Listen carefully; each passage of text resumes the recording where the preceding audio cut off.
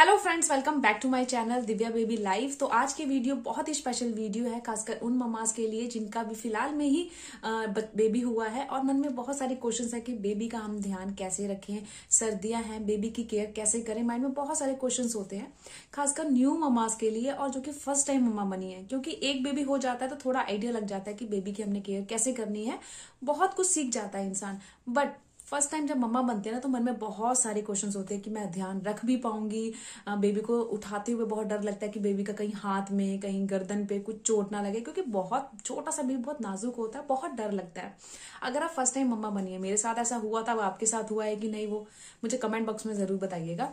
तो कुछ मैं आपसे बातें तो शेयर करूँगी जो कि न्यू बॉर्न बेबी के लिए आपने उस बातों का ध्यान रखना ही रखना है। तो दस बातें हैं ऐसी जो कि बेबी के लिए बहुत ज़्यादा ज़रूरी है, खासकर न्यू बॉर्न बेबी के लिए। तो देखिए, जब घर में बेबी आता है तो घर में खुशी का माहौल क्रिएट हो जाता है कि हमारे घर में बेबी आया है, दादी, नानी सब खुशियों से घर भर जाता है, सब झूमते हैं। तो क्या होता है, घर में जब बेबी होता है तो बहुत सारे रिलेटिव आते हैं देखने के लिए बेबी को तो हम क्या करते हैं? बेबी क्या होता है दो तीन महीने आराम से सोता है, खासकर दो महीने तो वो खूब सोता है। खाली उठता भी है तो फ़ीड लेने के लिए उठता है, वो भी उठाना पड़ता है कई बार मम्मा को कि मेरे बेबी ने फ़ीड नहीं लिया है तो मैं बेबी को फ़ीड करा दूँ। तब बेबी को हम उठा के उसे फ़ीड देते हैं। मगर जब कोई रिलेटिव आता है, हम क्या करते हैं? बेबी को फटाफट उठा के दे देते हैं गोद में और वो उछाल उछाल के खिलाते हैं। तो वो सबसे बहुत बड़ी गलत बात है। यहाँ पे आपने ध्यान रखना है न्यू बॉर्न बेबी के लिए खासकर कि बेबी अगर सो रहा है तो उसको सोने दो, उसकी नींद बिल्कुल भी खराब ना करो, क्योंकि जितना बेबी सोएगा, उसका दिमाग उतना शार्प होगा और उसकी ग्रोथ के लिए सोना बहुत ज़रूरी है। तो ये गलती मत करना कि आप बेबी को उठा के रिलेटिव्स को दे रहे हो और रिलेटिव्स खूब खिला रहे हैं। तो ऐसा बिल्कुल ना करें। सबसे नंबर वन पॉइंट आप यही याद रखें कि बेबी जितना सोएगा, उसकी मतलब सेहत के लिए उतना ही हेल्दी है।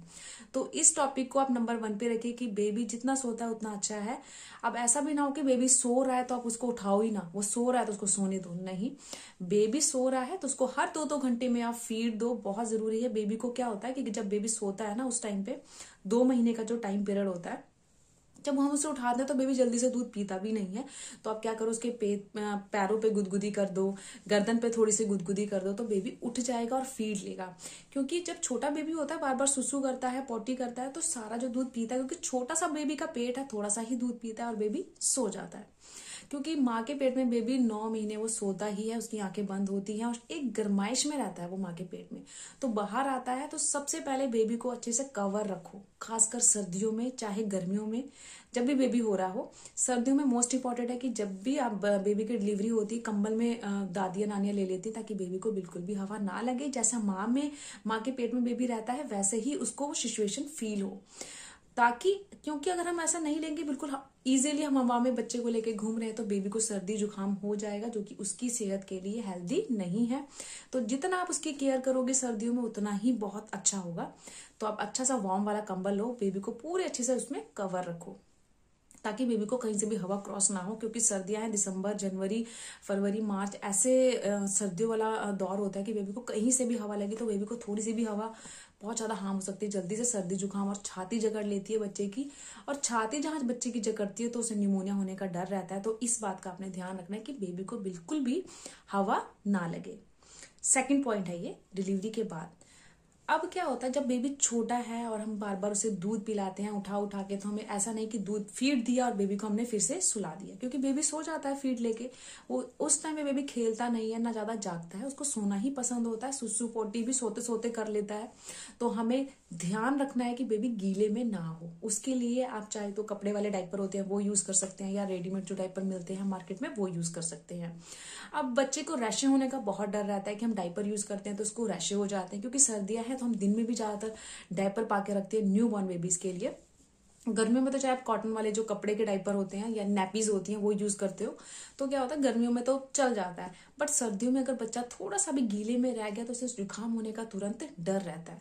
तो आपने हर तीन तीन घंटे में बेबी का डाइपर चेक करना है कि बच्चे का डाइपर भर तो नहीं गया, क्योंकि अगर लीक हुआ डाइपर तो ऑब्वियस ही बात है, वो गीले में रह गया तो उसे सर्दी हो जाएगी जल्दी से। तो इस बात का भी आपने ध्यान रखना है। नंबर थर्ड पॉइंट है कि बेबी का डाइपर आपने हर तीन तीन घंटे में चेक करना है। कहीं वो गीला तो नहीं। अब हम ज़्यादा डाइपर यूज़ करते हैं, डे में भी यूज़ कर रहे हैं, नाइट में भी यूज़ करें तो बेबी के रैशेज हो जाते हैं, बहुत ज़्यादा। प्राइवेट पार्ट में। तो आपने एक रैशे वाली क्रीम होती है डॉक्टर से डॉक्टर की सलाह में वो क्रीम लिखवा ले और बेबी के प्राइवेट पार्ट में लगा दें।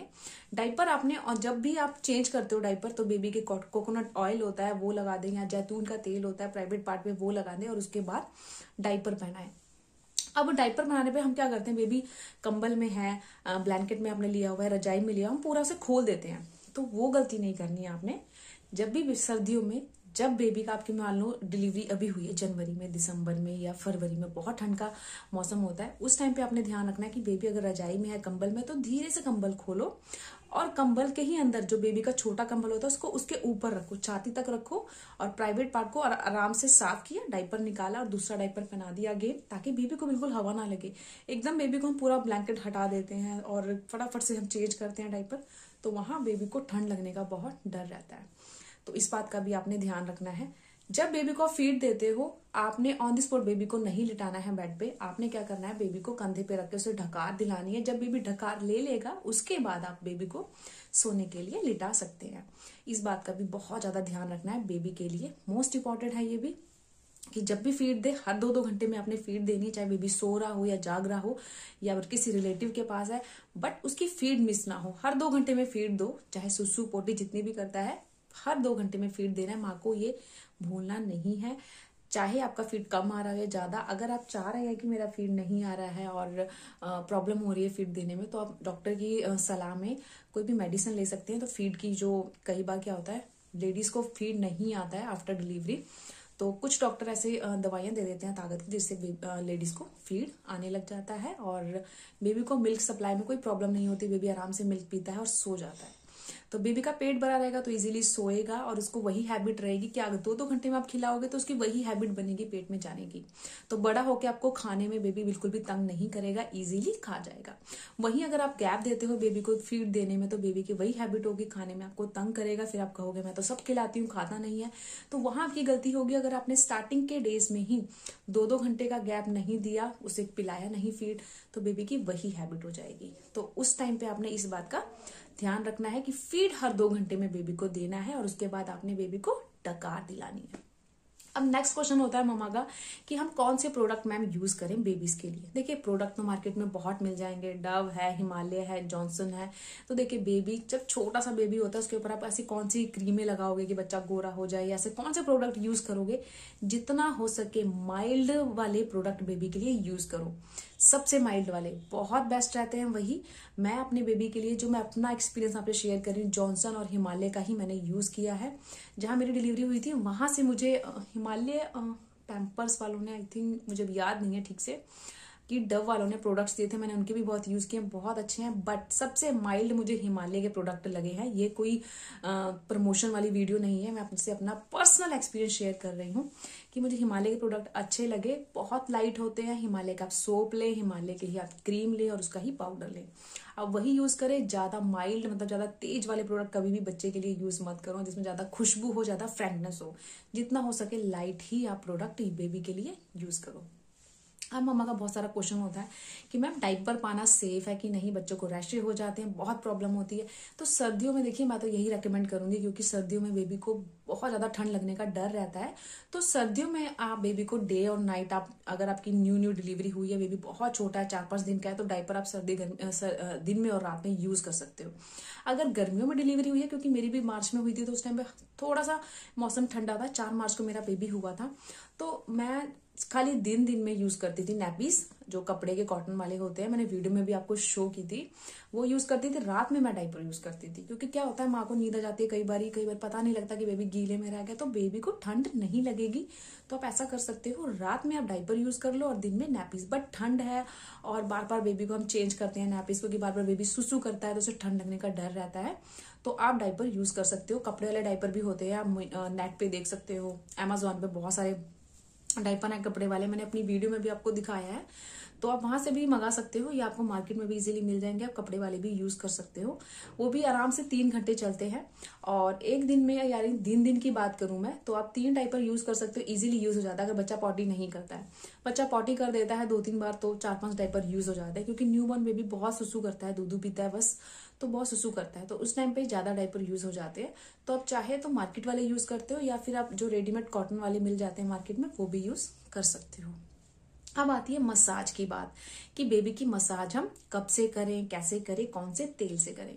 देखिए, बेबी की मसाज आपने जब तक नहीं करनी, जब तक उसकी गर्भ नाल नहीं गिर जाती, तब तक बिल्कुल भी मसाज नहीं करनी है। वैसे भी सर्दियाँ हैं तो बहुत ध्यान रखना है बेबी की मालिश से पहले, कि सर्दियों में जब बेबी बहुत छोटा है बेबी, और बहुत ध्यान रखना है, क्योंकि ठंड का मौसम बहुत है, और बेबी को कहीं से भी हवा लगी तो उसकी छाती जकड़ जाएगी। तो उस टाइम पे कमरा गर्म हो ब्लूमर लगा लो आप। कहीं से भी विंडो ओपन ना हो, हवा बिल्कुल भी क्रॉस ना हो रूम से तभी बेबी की मालिश करें और जब तक गर्भ नाल ना गिरे, तब तक बच्चे की मालिश नहीं करनी। इतना आपने ध्यान रखना है। बेबी की बाथिंग कब से करवाए मैम देखिए, हमारे यहाँ पे क्या होता है, छठी से पहले बेबी की नहलाना हो जाता है, छठी से पहले। तो छह सात दिन में बेबी की गर्भ नाल गिर जाती है। गर्भ नाल जब गिरे, तभी आपने बेबी को नहलाना है। और तभी से आपने बेबी की मालिश करना शुरू करनी है। हमारे यहाँ तो ऐसा होता है, बाकी आपके यहाँ कैसा होता है, मुझे कमेंट बॉक्स में ज़रूर बताइएगा। मेरे बहुत सारे व्यूअर्स के लिए बहुत हेल्प हो जाएगी। तो मुझे भी आगे अपने व्यूअर्स को बताने में बहुत ज़्यादा मदद मिलेगी। बट हमारे यहाँ छठी के बाद बेबी को, छठी से पहले, एक दिन पहले बेबी को छठी वाले दिन ही नहला देते हैं और छठी वाले दिन से बेबी की मालिश शुरू हो जाती है। क्योंकि तब तक गर्म नाल गिल जाती है। और गर्म नाल पे क्या लगाएँ मैम? तेल लगाएँ, क्रीम लगाएँ, पानी लगाएँ, क्या लगाएँ? तो गर्म नाल पे आपको कुछ नहीं लगाना है, वो अपने आप ही गिर जाती है। बस इतना ध्यान रखना है कि जब बेबी को डाइपर पहना रहे हैं या फिर आप नैपीज पहना रहे हैं तो गर्भ नाल के ऊपर बिल्कुल भी वो टच ना हो, वरना पकने का डर रहता है बच्चों को। और बहुत ज़्यादा बच्चा पेन में रहता है, बच्चा रोएगा। तो बस आराम से अपने बेबी को डाइपर पहनाना है और उसके ऊपर पाउडर पाउडर कुछ मत लगाए, ऐसे ही छोड़ दे, कुछ नहीं लगाना है। वो अपने आप ही छह सात दिनों के बाद गिर जाती है, आपको कुछ करने की ज़रूरत नहीं है। जैसे ही गर्म नाल गिरे, उसके बाद आप बच्चे को नहला सकते हैं। गर्मियाँ हैं तो बहुत सारे मामास का क्वेश्चन होता है, हम दो बार बेबी को नहला लें। देखिए बेबी बहुत छोटा है, आप एक बार ही नहलाएँ तो बहुत अच्छा है। पहले मॉर्निंग में मालिश कर दे और उसके बाद एक दो घंटे का गैप देके बेबी को हल्के गुनगुने पानी से नहला दे। अभी सर्दियाँ हैं तो गर्म पानी से नहलाओगे। अगर गर्मी में भी डिलीवरी होती है ना तो बेबी को ठंडे पानी से नहीं, थोड़ा सा वार्म वाटर करके ही नहलाना चाहिए। बहुत अच्छा होता है उसके। एकदम ठंडा पानी बेबी को लगेगा तो बीमार हो सकता है बेबी तो इस बात का भी ध्यान रखना है कि गर्मियों में भी डिलीवरी हो या सर्दियों में आपने नहलाना बेबी को गर्म पानी से ही है। और जब बेबी की गर्म नाल गिर जाए, उसके बाद ही आप बेबी को नहलाएँ और मसाज दें। आप बहुत सारे क्वेश्चंस होते हैं मामा के कि मैम हम बेबी को जब नहला देते हैं तो क्या प्रोडक्ट लगाएँ, तेल लगाएँ क्रीम लगाएँ, क्या लगाएँ? देखिए सर्दियाँ है ना तो अब बाथरूम में जब बेबी को नहला रहे हैं ना तो वहीं पर बेबी के कपड़े ले जाओ और नहलाने के बाद वहीं अच्छे से टावल से पानी को अच्छे से साफ़ करो और कपड़े बाथरूम में ही पहना दो क्योंकि बाथरूम थोड़ा कमरे से ऑब्वियसली डिस्टेंस पे होता है तो बेबी को लाते लाते थोड़ी बहुत भी हवा लगी तो बेबी को जुकाम हो सकता है बेबी छीके मारेगा और खांसी हो सकती है। तो मैं तो यही करती थी बेबी के कपड़े ले जाती थी, गर्मियों में भी। खाली एक टी शर्ट लेके जानी होती है गर्मियों में। तो बाथरूम में ही पहना के मैं लेके आती थी ताकि उसे बिल्कुल भी हवा ना लगे, क्योंकि गर्मियों में मैं गर्म पानी से ही नहलाती थी बेबी को। तो क्या होता है, घर में पंखा चल रहा है और गर्म पानी से नहला के पंखे में लाए तो सब गर्म हो गया। तो वहाँ पर भी ध्यान रखना है कि आप गर्म पानी से जब नहला रहे हो, कपड़े वहीं पहनाए, अच्छे से स्पंज किया टावल से कपड़े पहना के उसे बाहर ले आओ। और थोड़े टाइम के बाद फ़ैन की हवा उसे दिखाओ ऑन द स्पॉट मत दिखाओ, वरना सर्दी गर्म उसे लग, हो सकती है। अब नेक्स्ट क्वेश्चन होता है ममाज का कि मैम आप ये बताएँ कि जब हम बेबी को नहलाते हैं तो कौन सा सोप यूज़ करें? तो सोप मार्केट में बहुत है बट मुझे तो जॉनसन का सोप बहुत अच्छा लगा। अपना पर्सनल एक्सपीरियंस शेयर कर रही हूँ, जो मुझे अच्छा लगा, मैं वही बताऊँगी आपको, क्योंकि मैंने उस चीज़ को यूज़ किया है और मेरा एक्सपीरियंस है। तो मुझे जॉनसन्स का ही मैं साबुन यूज़ करती हूँ अपने बेबी के लिए जॉनसन्स का ही शैम्पू यूज़ करती हूँ। हिमालय की मैं क्रीम यूज़ करती हूँ, मैंने जॉनसन्स की भी क्रीम यूज़ की है जॉनसन्स का पाउडर यूज़ किया है। तो मुझे बहुत अच्छे लगे उनके प्रोडक्ट क्योंकि ज़्यादा फ्रैंकनेस नहीं है और बेबी के लिए ज़्यादा खुशबू वाली चीज़ें भी हार्म होती हैं। तो मुझे बहुत अच्छे लगे प्रोडक्ट बाकी आप बताइए, आप क्या यूज़ करते हो? मैं तो आपको यही रेकमेंड करूँगी, हिमालय या जॉनसन का भी यूज़ कर सकते हो। अब सर्दियों में बहुत सारे ममाज का क्वेश्चन होता है, कौन से तेल से मसाज करें बेबी की? तो देखिए, सर्दियाँ हैं और सर्दियों में सबसे बेस्ट तेल सरसों का तेल होता है। सरसों का तेल इसमें थोड़ी सी कलियाँ, एक दो कलियाँ लहसन की डाल लें और थोड़ा सा अजवाइन।